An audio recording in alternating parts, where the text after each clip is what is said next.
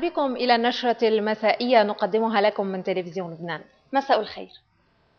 بعدما كانت قريبة لبلوى شيكا طرأ على عملية التبادل في قضية العسكريين المأسورين بعض التأخر فيما الأهالي على نار الانتظار وكل ثانية تمضي في الفترة الزمنية القاسية التي تفصل الوطن عن عودة العسكريين تبدو أكثر ثقلا من مرور العمر خصوصا على أهالي العسكريين الأهالي الذين يسلطون أبصارهم وبصيرتهم رجاءهم وآمالهم قلوبهم وعقولهم نحو منطقة عرسال حيث تكبر التظاهرة الإعلامية وحيث تنشر الإجراءات الأمنية والعسكرية على نطاق واسع استعدادا لمواكبة العملية وإتمامها.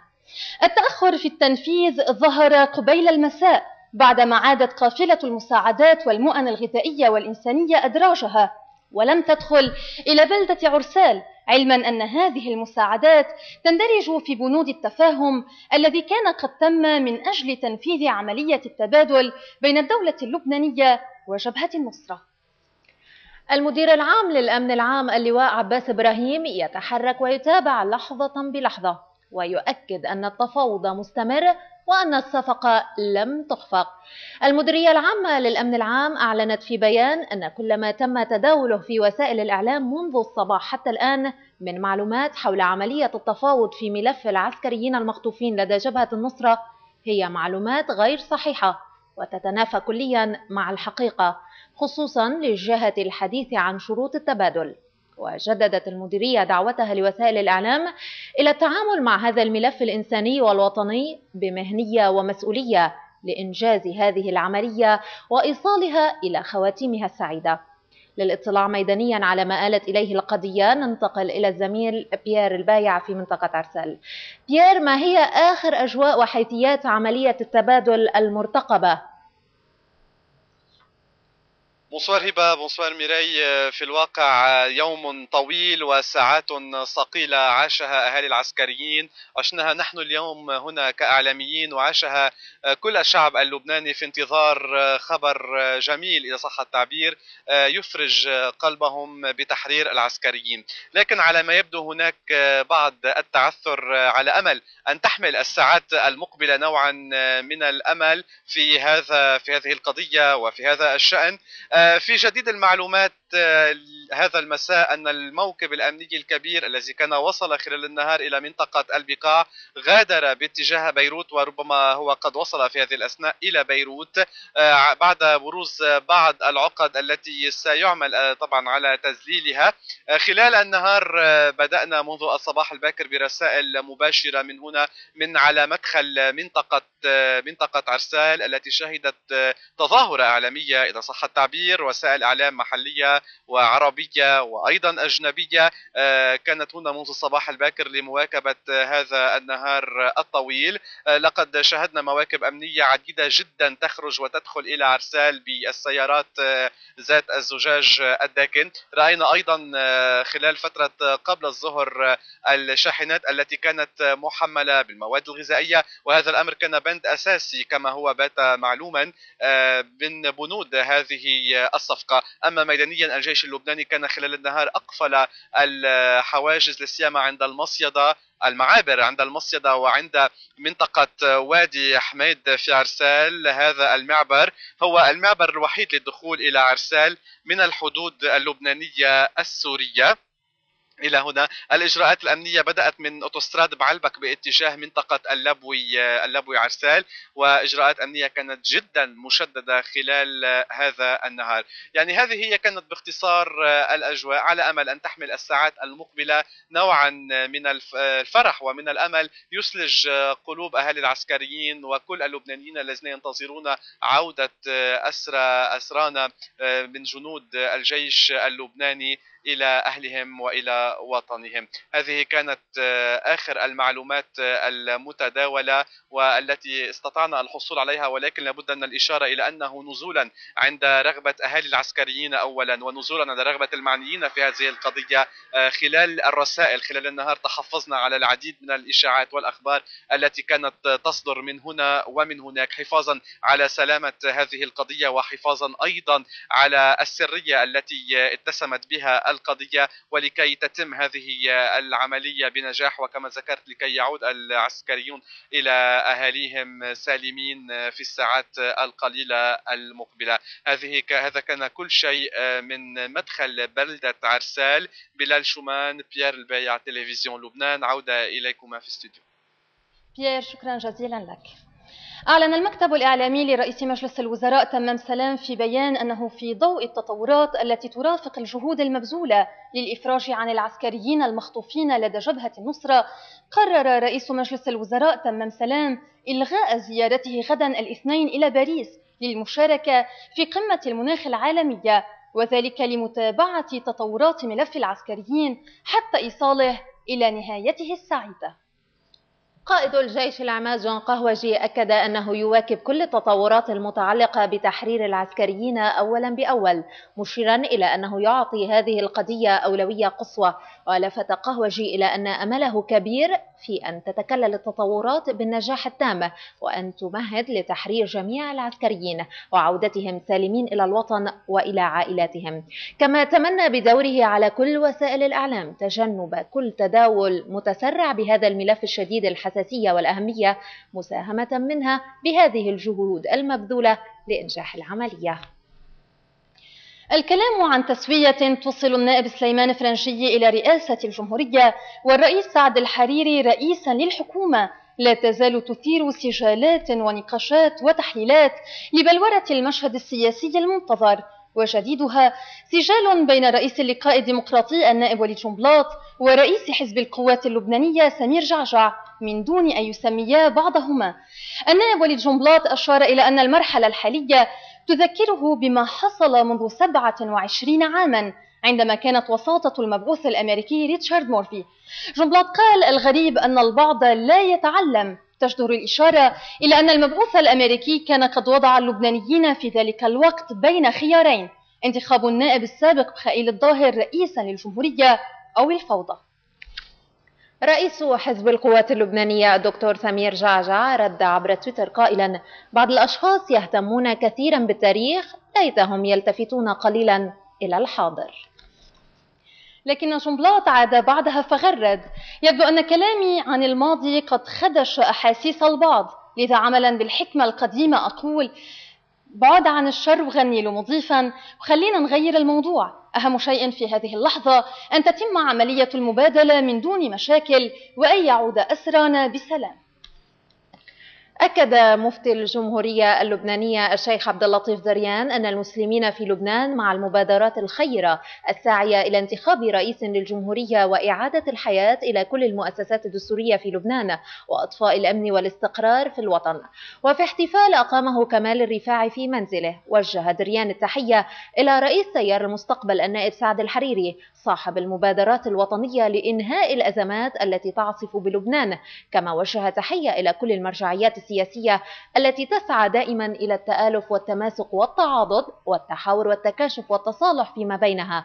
مضيفا لنا ملء الثقة بالحريري في كل مبادراته الوطنية بامتياز والتي نأمل أن نرى ثمارها الخيرة في القريب العاجل بانتخاب رئيس للجمهورية ويكون ذلك انتصارا للبنان الذي لا يقوم إلا بالتفاهم والتوافق والتنازل والتواضع من قبل الجميع لمصلحة الوطن.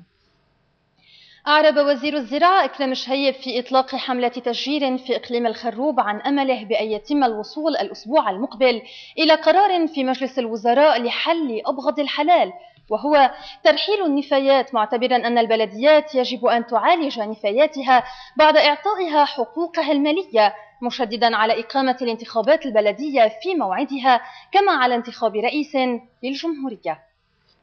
حل أبغض الحلال وهو الترحيل لمدة سنة ونصف. في هذا الوقت أن تبني البلديات مجتمعها إعطاء حقوقها أولا المالية كل حقوق المالية وأن تتولى الدولة عملية معالجة ملف النفايات حتى تستطيع أن تبني نفسها بنفس البلديات. والنشرة مستمرة بعد الفاصل. أهلا بكم من جديد. وفي سياق متابعة لقاء الحريري فرنجي رأى النائب محمد الحجار أن مبادرة الرئيس الحريري تأتي في سياق إيجاد مخرج للشغور الرئاسي. موضحا أن رئيس حزب القوات اللبنانية الدكتور سمير جعجع يبقى مرشح الرابع عشر من آذار في انتظار التوضيحات. في ظل فيض من التحليلات والتكهنات يبقى اللقاء الباريسي بين الرئيس سعد الحريري ورئيس تيار المرد النائب سليمان فرنجي في مقدمة الاهتمامات السياسية. وفي هذا الإطار يؤكد عضو كتلة المستقبل النائب محمد الحجار أن المبادرات التي يطلقها الرئيس الحريري تأتي في سياق الوصول إلى تسوية في موضوع رئاسة الجمهورية ولتحصين لبنان من الأخطار المحيطة. سعد الحريري الذي يريده هو منع استمرار التعطيل في موقع رئاسة الجمهورية. يعني هذا الذي يريده. هلا هناك من يريد أن يطرح الأمور بشكل كما لو أنه مقابل ذلك أن يكون يكون سعد الحريري برئاسة الحكومة لا مش هذا هو المطلوب. مش المطلوب أن يكون سعد الحريري برئاسه الحكومة بقدر ما مطلوب إنه الموقع الرئيس آه، موقع رئيس الجمهورية الموقع المسيحي الأول في الهيكلية الدستورية بلبنان هيكلية الدولة في لبنان والموقع المسيحي الوحيد في في رأس السلطة على مستوى المنطقة العربية لا يجوز أن يبقى شاغرا عندما نذهب إلى طرح مبادرة ما في موضوع الرئاسة لسنا وحدنا من ينتخب الرئيس. يجب أن يتشارك في هذا الموضوع ويتحمل مسؤوليته كل من يريد إنهاء التعطيل في لبنان. أنا معلوماتي إنه الكل بيجو بالأجواء. يعني ما في حدا في اتصالات عم تحصل بشكل دائم سواء مباشرة أم غير مباشرة مع آه، الجميع. الهدف ليس تحقيق كسب شخصي لسعد الحريري. قلت يعني أنه هناك مسؤولية على الجميع تحملها وننتظر توضيحات في هذا المعنى. توضيحات من الحلفاء؟ من الجميع. ويبقى حتى الآن رئيس حزب القوات اللبنانية سمير جعجع مرشح قوى الرابع عشر من أذار لرئاسة الجمهورية.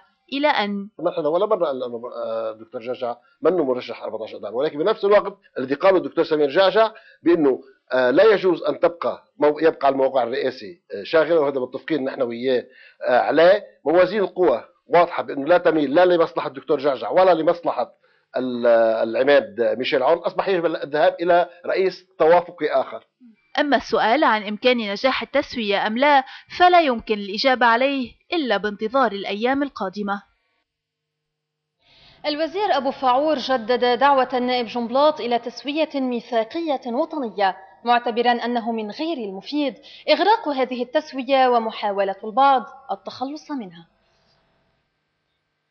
الوزير وائل أبو فاعور خلال مؤتمر أقامته منظمة الشباب التقدمي بالتعاون مع مؤسسة فريدريش إيبرت أكد أن الإصلاح في لبنان ضرورة وطنية لأن الدولة ينخلها الفساد مشددا دعوة جنبلاط إلى تسوية ميثاقية وطنية. فنحن نجدد نجدد الدعوة إلى تسوية وطنية ميثاقية جامعة تضع حدا لهذه الدوة وليس من المفيد إغراق هذه التسوية بعناوين إضافية وبمطالب إضافية لا سيما إذا كنا نتحدث عن قانون الانتخاب.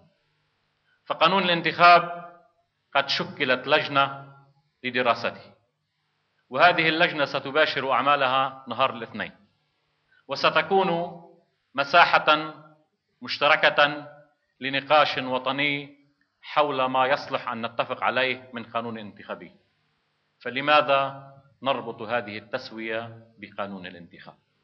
إلا إذا كان البعض يريد فكاكا من هذه التسوية وتخلصا منها بشكل لائق وبشكل مهذب. المؤتمر تحت عنوان تحديات الإصلاح. دخل له مداخلات وإعلان توصيات شددت على الإصلاحات داخل الدولة اللبنانية والتي تحتاج إلى إيرادات إصلاحية. يتوقع أن تواجه من عناصر فاسدة وممانعة للإصلاح. في أربعين النائب والوزير الراحل الياس سكاف قداس وجناز في مقام سيدة زحلة وسط حضور سياسي واسع. ومريم سكاف رئيسة للكتلة الشعبية. ما بعد الأربعين ليس كما قبله.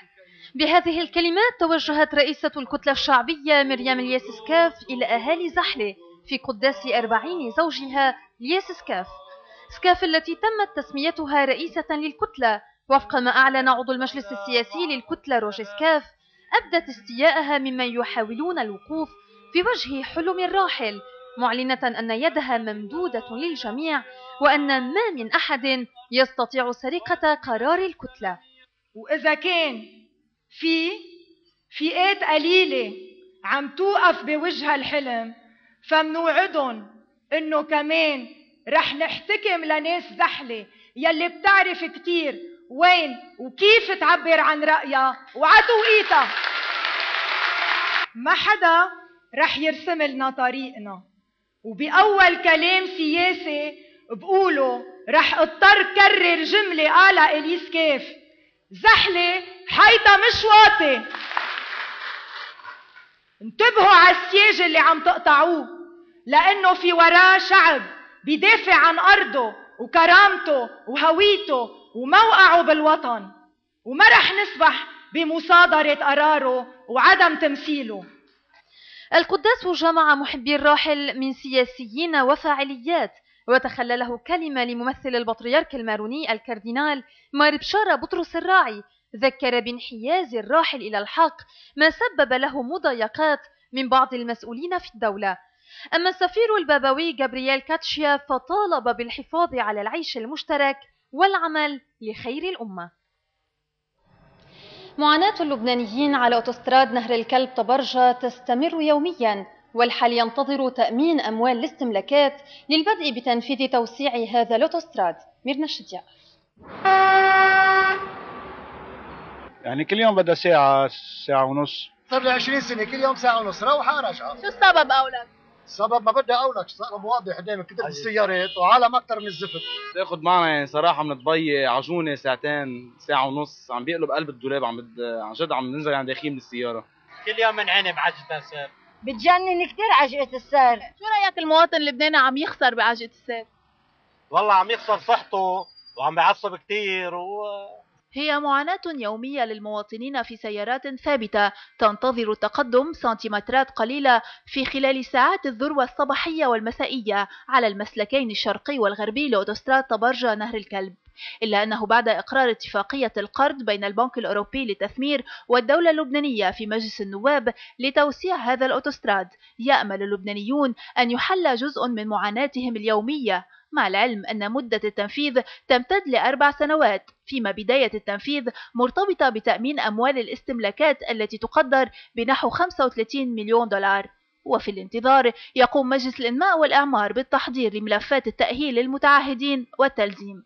الأوتوستراد رح يلحظ آه، ثلاث خطوط سريعة باتجاه الشمال ثلاث خطوط سريعة باتجاه بيروت.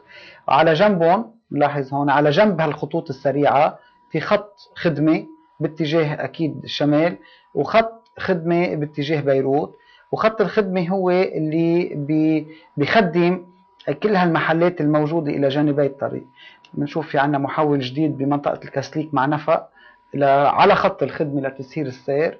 في عنا الجسور العلوية الموجودة اليوم فوق الأوتوستراد عنا ثلاثة منهم رح ينزلوا ونرجع نستبدلهم بجسور آه، تسمح آه، تمريق العرض الكافي تحت الاوتوستراد يمرق تحتها بشكل كافي.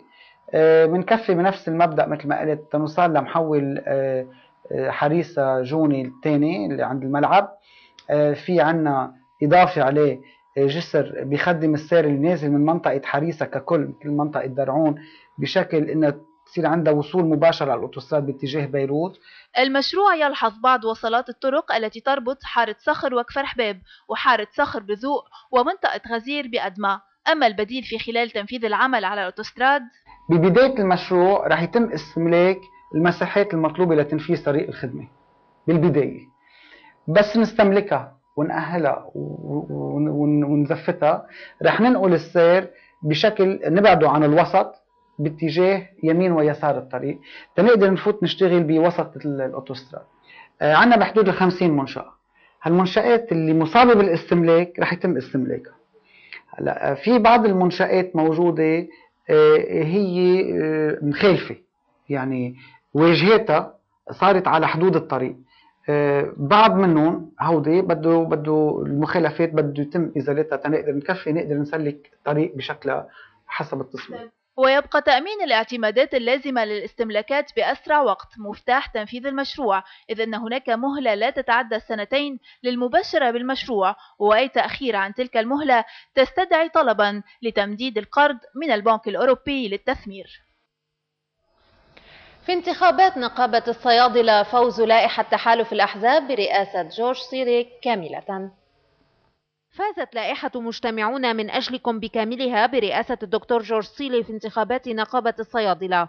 هذه اللائحة المدعومة من كل الأحزاب اللبنانية تنافست مع لائحتين للمستقلين الأولى غير كاملة برئاسة طوني يوسف والثانية برئاسة كريكور سحاكيان كما فاز لصندوق التقاعد نمر خليفة ماري غصوف جمال ناصح ونبيل شحادة ولمجلس التأديب حمود الموسوي وسمير رزق. نحن بالمبدأ آه، لائحة المجتمعين من أجلكم نحن مدعومين من كل الفرقاء السياسيين كانوا حزبيين أو غير حزبيين. مدعوم من تجمع نقابتنا والشباب الطيبين. ووعي الصيادله لائحتنا ما في حدا مكلف من الأحزاب بداخلها. نحن بدنا نقابة تكون قوية بتعاطيها مع المؤسسات الرسمية ونقابه تكون قوية بتعاطيها مع بقية النقابات. بدنا نقابه تكون عصرية. بالشكل هي مدعومة بالأحزاب بس اليوم التوافق هو منه توافق فقط حزبي. هو بينما توافق على مشروع مهني آه، متوج اليوم هو بلش من ثلاث سنين يعني آه، وتخطى الحواجز الحزبية والسياسية. عملية فرز الأصوات أظهرت فارقا كبيرا في الأصوات إذ نال الدكتور سيلي 1619 صوت فيما نال طوني يوسف 770 وسحقيان 629 من أصل 2847 شاركوا في العملية الانتخابية. جمعية ديمقراطية الانتخابات راقبت سير العملية الانتخابية وسجلت بعض المخالفات قبل الظهر. أول ما يوصل الناخب بيتلقطوا فيه مع اللوائح كله بيوزع له لوائح. بيوصل لجوا كمان بيكملوا معه بيفوتوا معهم على قلب الأقلام. ففي كمية ضغط على الناخبين مش مقبولة. بس أنا كان عندي تمني إنه قبل ما ننزل على الانتخابات يقولوا لنا شو الشروط والمعايير. الانتخابات التي حصلت في قصر العدل نظرا إلى وسع المكان بدأت في الساعة الثامنة صباحا وانتهت في الساعة الثانية من بعد الظهر. وبعد إعلان النتيجة شكر النقيب الجديد صيلي كل من شاركوا في الانتخابات.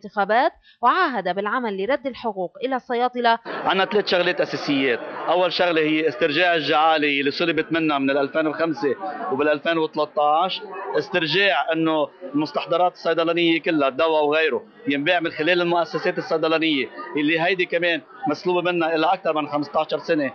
والنقابة ما عم بتدافع عنها مثل ما لازم تدافع عنها. والشغلة الثالثة هي ترجمة. العلم والمعلومات اللي بنتعلمها بجامعاتنا نترجمها على ارض الواقع بقلب صيدلياتنا وبالمستشفيات اللي بنشتغل فيها. عشية قمة المناخ في فرنسا والتي يلتقي فيها كبار زعماء العالم وكبار مستشاري البيئة نظم حزب الخضر وناشطو المجتمع المدني تظاهرة بيئية كبيرة في بيروت تؤكد أهمية سلامة البيئة في تطور المجتمعات والأوطان وفي مقدمتها لبنان.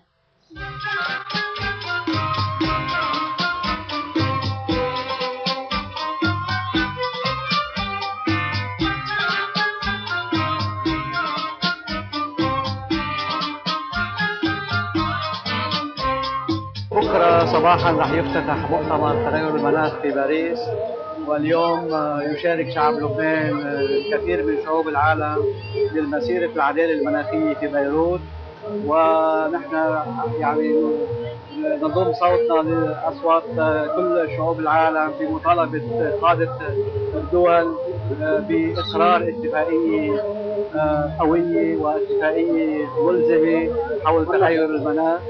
للحد من انبعاثات والحد من التدهور الحاصل آه، في واللي عم تدفع ثمنه آه، شعوب العالم كلها آه، في خسائر مادية وخسائر بشرية الحد من الانبعاثات والانتقال إلى الطاقة المتجددة هو الحل في وضع حد لهذه المتغيرات الخطيرة على الحياة على الكره الارضيه.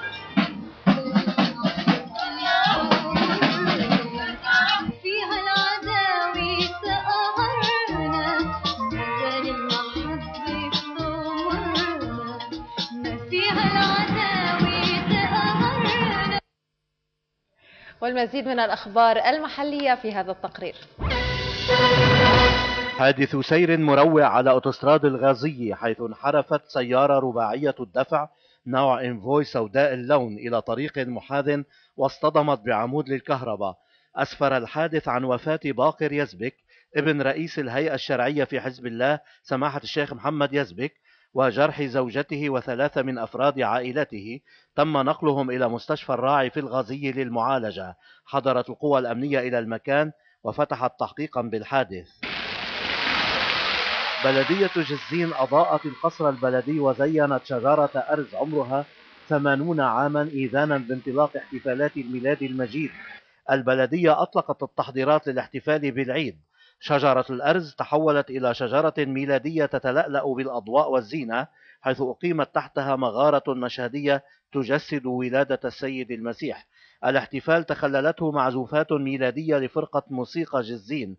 ثم تحدث رئيس البلدية المحامي خليل حرفوش فأشار إلى أن البلدية أرادت أن يكون عيد الميلاد هذه السنة مميزا في جزين من خلال إضاءة أرزة المنشي التي عمرها ثمانون عاما.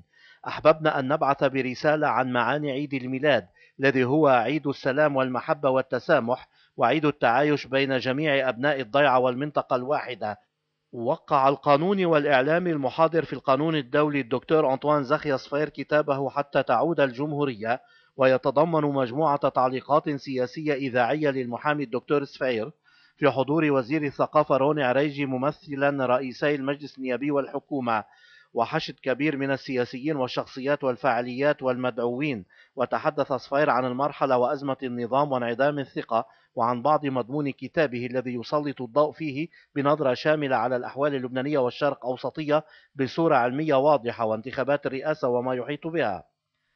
احتفلت ثانوية راهبات القلبين الأقدسين في عنقة عكار بعيد الاستقلال بحضور العميد فوزي خوري قائد موقع عنقت ورئيسة المدرسة الأخت منتهى عقيقي وحشد من الأهالي وقدم الطلاب لوحات فنية ووطنية وثقافية. رعى وزير الشؤون الاجتماعية رشيد درباس ممثلا بالمحامي فهمي كرامي اليوم المفتوح في بلدية بلدة خريبة الجند في عكار والذي تضمن سلسلة من النشاطات الحرفية والفنية والمعارض وشارك فيها هيئات المجتمع المدني من كل لبنان. الأخبار الإقليمية والدولية بعد هذا الفاصل. أحييكم من جديد. أفاد وزير عسكر الاحتلال الإسرائيلي موشي علون أن طائرة حربية روسية اخترقت الأجواء بالخطأ فوق هضبة الجولان مشيرا إلى أن الطائرة عادت أدراجها إلى سوريا فور اتصال الإسرائيليين بطيارها وإبلاغه باختراق الأجواء لمسافة 1600 متر. وأوضح أن هناك قنوات اتصال بين روسيا وإسرائيل للتنسيق بشأن سوريا ومنع حصول حوادث في الأجواء السورية مبينا أن إسرائيل لا تنوي استهداف المقاتلات الروسية التي تخترق الأجواء الإسرائيلية لأن الطائرات الروسية لا تنوي مهاجمتنا. الأمر الذي يستثني التحرك السريع بطريقة تلقائية واستهدافها حتى عندما يحصل خطأ بحسب تعبيره. رئيس الوزراء التركي يعلن أن السلطات التركية تسلمت جثة الطيار الروسي وسيتم تسليمها لموسكو وعقوبات روسية على تركيا. وقع الرئيس الروسي فلاديمير بوتين مرسوما يفرض إجراءات اقتصادية ضد تركيا ووفقا للمكتب الإعلامي للكرملين فإن المرسوم يتضمن فرض تأشيرات على الأتراك وتشديد الرقابة الجمركية على البضائع التركية وكذلك حظر جلب الأيدي العاملة التركية وحظر استيراد بضائع محددة. وألزم المرسوم مكاتب السياحة منع بيع تذاكر السفر إلى تركيا والامتناع عن تنظيم رحلات إليها. المرسوم لم يتطرق للمشاريع الاقتصادية العملاقة لكن أي قرار بإلغاء مشروعي خط أنابيب الغاز قيد التخطيط له وبناء موسكو محطة نووية في تركيا بقيمة 30 مليار دولار سيؤثر حتما على الاقتصاد التركي المتأزم. وفي أول رد على الإجراءات الروسية قال مسؤول تركي بارز إن عقوبات كهذه لن تؤدي إلا للأضرار بالعلاقات. هذه الخطوات لا تيسر أي شيء بل تعمق المشكلة. من جهة أخرى أعلن رئيس الوزراء التركي أحمد داود أوغلو أن السلطات التركية تسلمت جثة الطيار الروسي وسيتم تسليمها اليوم إلى موسكو مؤكدا أن حماية الحدود الجوية للبلاد هي مهمة القوات المسلحة وهذه المهمة تعود لتوجيه رئاسة الوزراء وفقا لقواعد الاشتباك ورأى أنه كان لابد من مسؤول عن الحادثة فعلى الجانب الذي انتهك المجال الجوي التركي مرارا أن يراجع نفسه أولا مشددا على أن التصريحات الصادرة عن روسيا لا يمكن قبولها من ناحية علاقات الجوار فأجواء الجمهورية التركية هي فخر وشرف وعزة كل المواطنين في البلاد. تتجه الأنظار إلى فرنسا التي تستضيف قمة المناخ حيث من المتوقع أن تعقد لقاءات بين قادة العالم للبحث في جهود فرنسا لتأليف تحالف أمني عسكري واسع ومساعي التوصل إلى حل للأزمة السورية إضافة إلى خفض التوتر بين موسكو وأنقرة.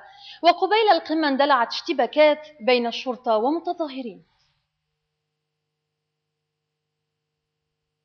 وسط إجراءات أمنية تفتتح الاثنين قمة المناخ التي تنظمها الأمم المتحدة في لوبرجي قرب باريس في حضور حوالي 150 رئيسا ورئيس حكومة.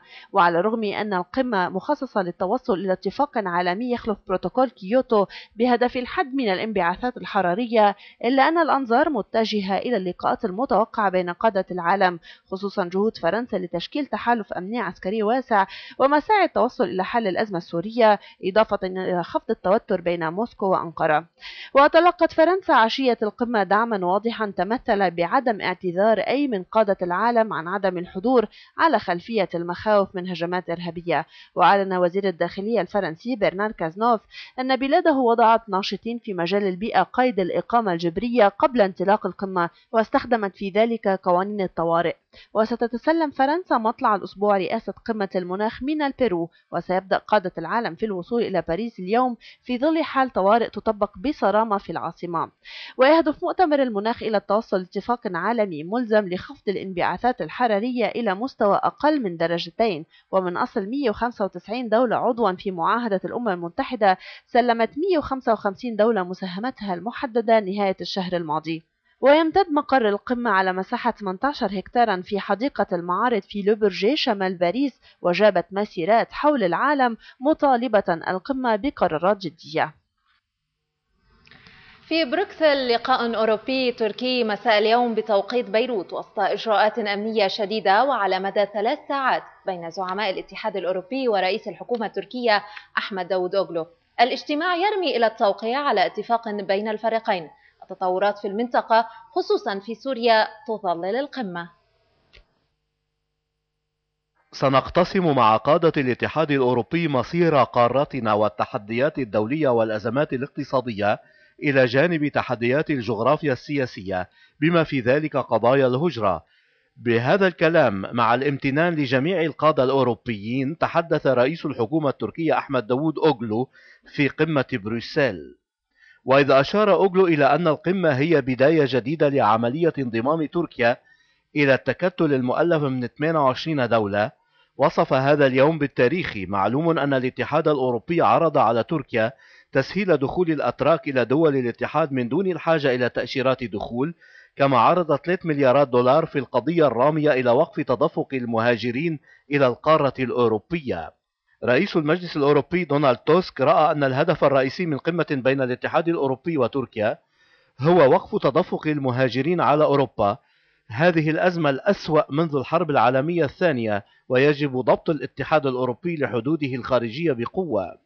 الممثلة العليا للأمن والسياسة الخارجية في الاتحاد الأوروبي فيدريكا موغيريني أعلنت أننا سنتحدث مع تركيا وروسيا لضمان عدم تأثير التوتر بينهما على العملية السياسية في سوريا موضحة أن التراجع إلى الخلف في المحادثات السورية على خلفية التأزم بين روسيا وتركيا خطأ فادح.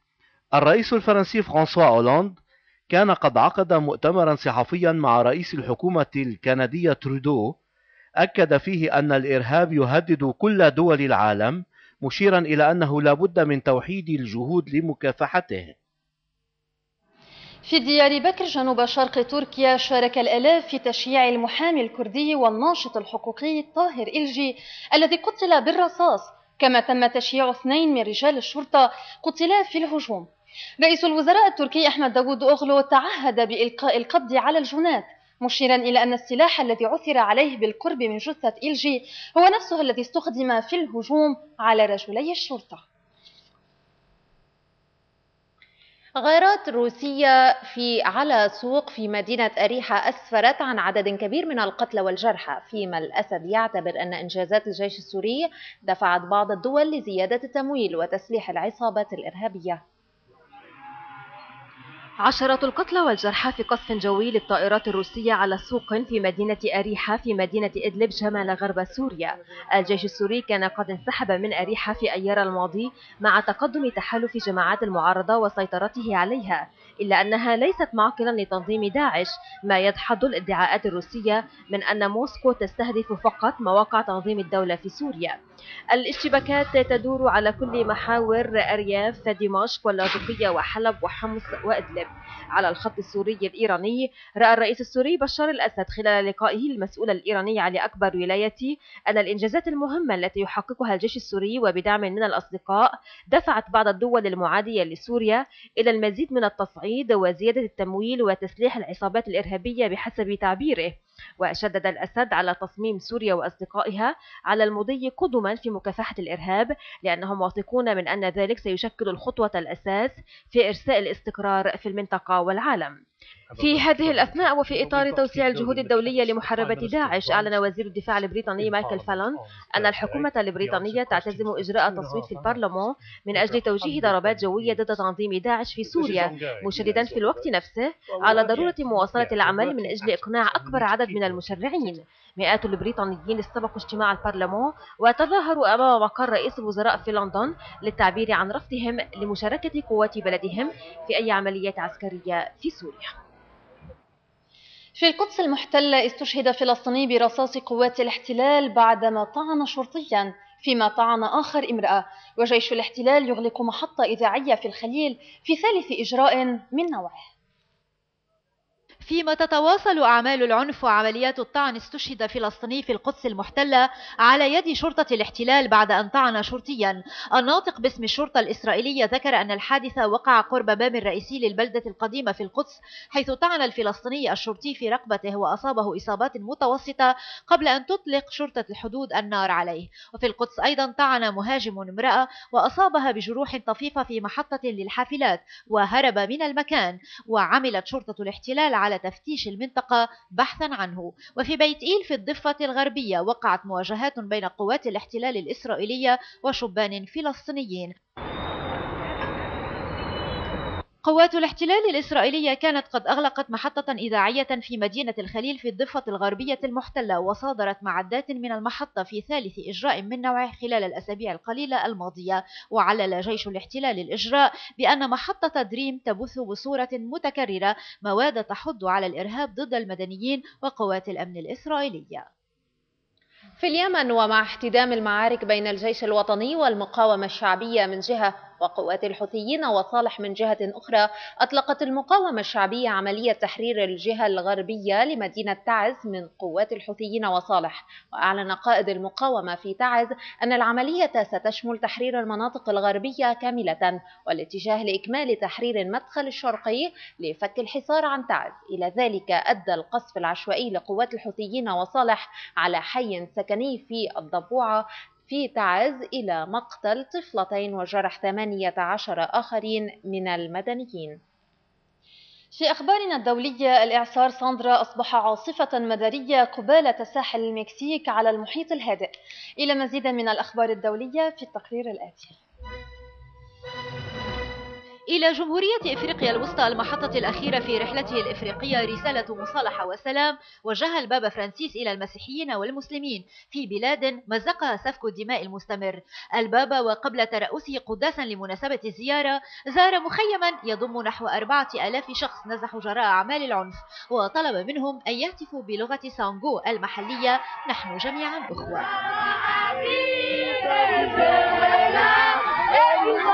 في مالي ذكرت الأمم المتحدة أن مجهولين أطلقوا صواريخ على قاعدة لقوات حفظ السلام في البلاد ما أدى